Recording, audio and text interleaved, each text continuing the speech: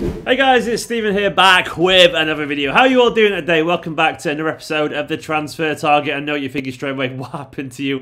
I shaved my beard off. It'll be back, don't worry, don't mock me. Uh, the beard will be back and as wonderful, what a segue, as One Football. One Football is sponsoring my channel once again in the month of September and I'm absolutely delighted to be back on board with One Football, the best football app, bar absolutely none on the market. You can get it for the wonderful price of £0 and 0 pence. It's absolutely free. You can download it in the link in the description below for all your Manchester City news and all your transfer, well, if, if, there's any transfer gossip, and all the updates and stats you need ahead of the Premier League season. So go download it in the link in the description below, and I promise you I'll grow my beard back pretty soon. I don't know why I did it. I've seen it on camera now, and it's terrifying. But anyway, I've got a bit of an exclusive today. Yep, I've got an exclusive. Little old Esteemed Kompany, Steven McInerney, has an exclusive. I, I rarely have these things. Um, I tend to hear a little bits of information every now and then, but I would largely tend to not post it unless I think it's ultra reliable. Uh, and in this instance, I have heard some very, very, very reliable, um, I can't really give the source away, of course, but some ridiculously reliable news about Mr. Tosin Adarabioyo. Um,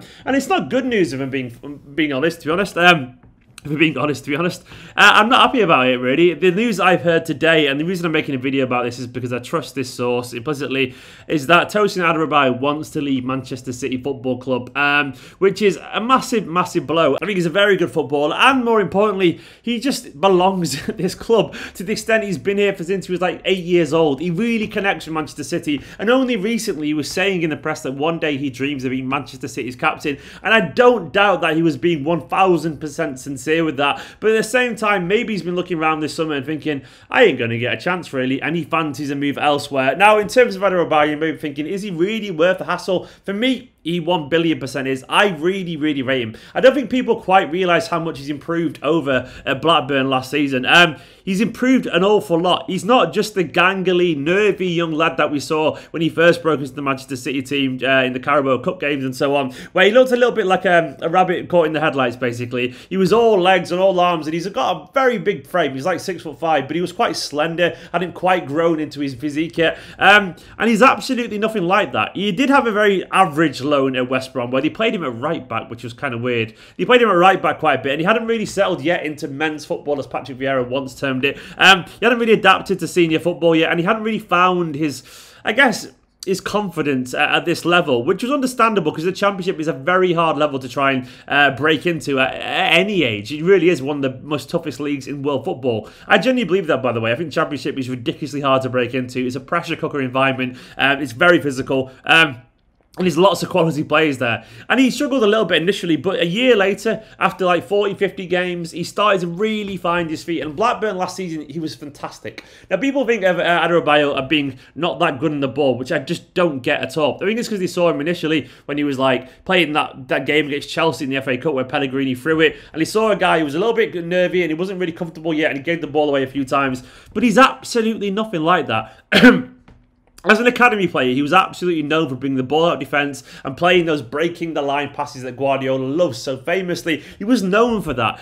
All he's took now is basically a little bit of confidence and, and strength and awareness uh, and a, a use and basically being used to the men's game the championship level to find that confidence once again. And at Blackburn, he's been fantastic at bringing the ball out. He's been stepping into midfield. He's been breaking the lines, playing absolutely delightful passes. Go and check my Twitter, by the way, if you don't believe me. This compilation that I posted um, an hour or so ago about Adarabioyo, and he's He's a very good passer of the ball. And also, he's starting to get very physical and very strong. And he can bully. He can genuinely bully and push people off the ball. Um, and he's becoming a heck of a defender. Now, the reason he wants to leave, allegedly, um, according to what I've heard, is that he feels like he needs to just settle down and play some permanent football. And to be honest, I don't really blame him. I'm gutted about this because I really, I really rate him.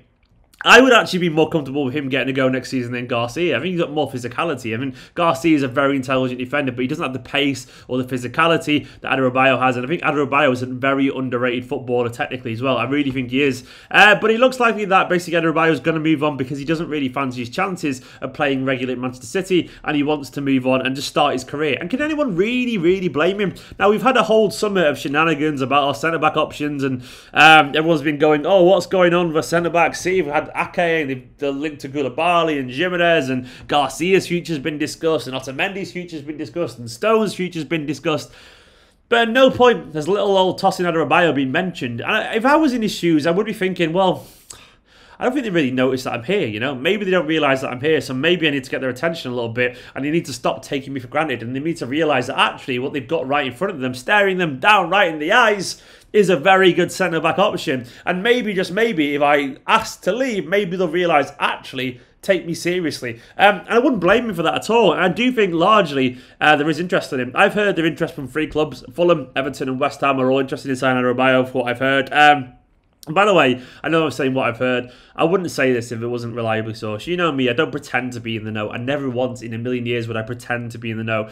But I heard this from someone who said, feel free to share it if you want to. Um, I trust you and all that kind of stuff. Um, someone who would definitely know, put it that way. Um, and I'm only sharing this because I thought you guys would be interested in it. And that doesn't mean going forward, by the way, that when I'm talking about other transfers, I'm going to know fuck all about them. I'm just a fan like you guys. Occasionally I will hear things because of my social media and because of people I know at games and stuff like that. Occasionally I will hear things. Um, but mostly when I'm talking about Koulibaly, I just know what you guys know, you know. So I'm not pretending to be an in the know in general. It's just in this instance, I tend I, I just know something about this particular scenario. Back to Adarabioyo, I mean He's probably very tired. I mean, he's 23 next week. He turns 23 in about eight days or something like that. Uh, so he's probably thinking to himself, I need to get on with my career, you know? Like, uh, there's some good clubs in, uh, interested in me. I had a very good season at Blackburn. The Blackburn fans loved him. They genuinely did. Uh, you don't have to search Adarabioyo, you know, on Twitter and realise that loads of Blackburn fans uh, are really enamoured of him. They thought he was absolutely excellent and they wanted him back this season. Uh, that's not going to happen, of course. And he's shown what he could be. And I've always said about Adarabioyo is that he's a work in progress. He'll get stronger and more comfortable. And he already has that pace.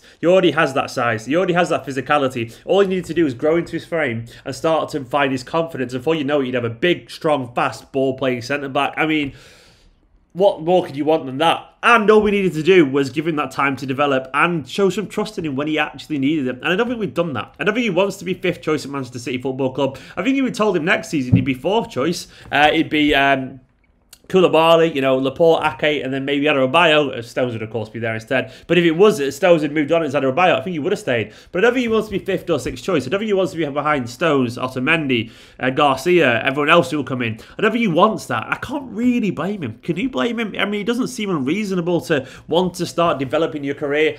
Um, and I've also always said that you've got to bear in mind that at the same age Van Dijk was playing at Celtic, you know. Uh, with all due respect to Celtic, that is a level below the Championship, and I and I hand on heart believe that. I, I mean, Celtic may, may may in the Championship, but they may do fine in the lower half of the Premier League. I don't know, but what I will say is playing against the likes of Dundee and Hibernian, they they are a lower level than the Championship. They just are. Um, and Adarabioyo is doing very well in a better league at the same age as Van Dijk was when he was at Celtic. And obviously, he's not playing European competition. That will I will hold my hands up on that and say like Celtic play, you know, the European competition. Adarabioyo doesn't. But what I'm saying is that if he was over at Celtic now, he'd be just he would be impressing as well. I'm sure he would be. Um, and I'm not saying he's going to reach Van Dijk's level, but what I'm saying is at the same age, Van Dijk wasn't playing at the highest level regularly, uh, which is just true. He obviously went to uh, Southampton, then he went to Liverpool, uh, and I really do believe that in two or three years from now, we could be looking at Adarabioyo being just a complete perfect centre back. Genuinely, he has all the attributes to get better and better. So what I want Manchester City to do now is like Adarabioyo loves this club. He said he recently wanted to be captain, and I don't believe he was lying. But I also think at the same time, maybe he started to realise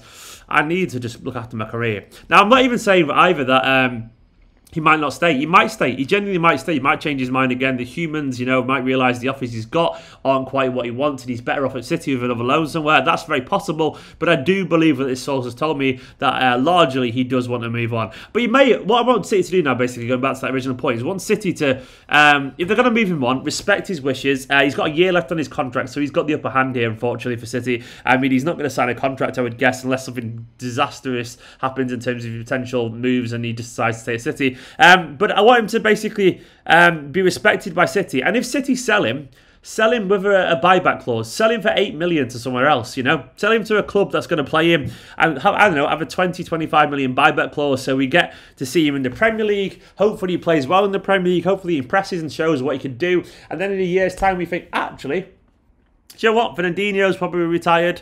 Uh, we'll probably move Stones on. Who knows what we need defensively? We can bring him back for 20 odd million. He could be a proven uh, Premier League defender. He can be homegrown. He can be club trained as well because he would be all those things. He'd be a Manchester City fan. I'm not saying he was born a City fan, but I know when you've been at the City since you're eight years old, you're of course going to love this club. And if you can do all that, we can say to him basically, "We come back and then you're ready, and that would be good business. We basically would have spent uh, a little bit of money getting him developed. We would have, you know, spent about 12, 15 million after the buyback clause and all that kind of stuff if that happened. But it would be money well worth spending if we could see him develop in the Premier League. And I want City to do that now. Sell him, respect his wishes, but give him uh, get a buyback clause. Let him try and convince him.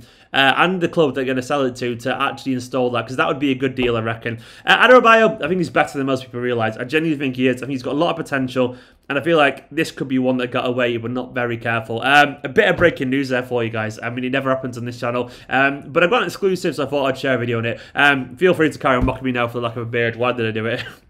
I hope you're all really well. I also want to say thank you to all these guys scrolling down the side. These are my patrons who help support this channel, patreon.com forward slash esteem company. And also thank you to all the YouTube members as well who are also listed there. Guys, I'll be doing a live very soon so all the members can get in the comments and all that kind of stuff. Um, but I, I, took a few days off because I was a little bit tired um, and also went away at the weekend and I celebrated my birthday. And I needed a few days off because the season is about to get very, very hectic uh, and it's going to be fun. Anyway, I'll be on Twitch at some point very soon as well. Twitch.tv forward slash esteem company. Go follow me on there. Uh, let me know in the comments what you make of it, and there's an exclusive for you. Subscribe, like, comment, and I'll see you later.